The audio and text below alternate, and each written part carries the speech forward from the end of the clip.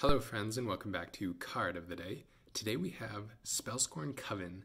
This is three in a black for a 2 3 Fairy Warlock. It has flying, and when Spellscorn Coven enters the battlefield, target opponent discards a card. It also has two in a blue for Take It Back.